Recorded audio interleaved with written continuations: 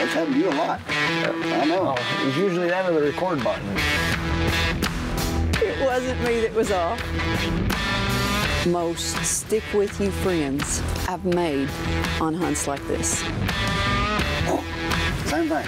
Missed gun? Another miss. All yeah. right. I forgot one. So at 8:30 on Monday morning, Mom answered the phone and I told her that I'd shot myself.